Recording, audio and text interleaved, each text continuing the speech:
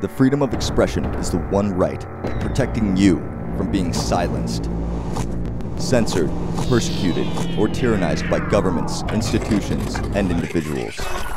It is essential that you let your voice be heard and that you share your opinions about topics that some groups want to keep off limits. Exercise your rights to protect your freedom of expression. Protect your right to dissent.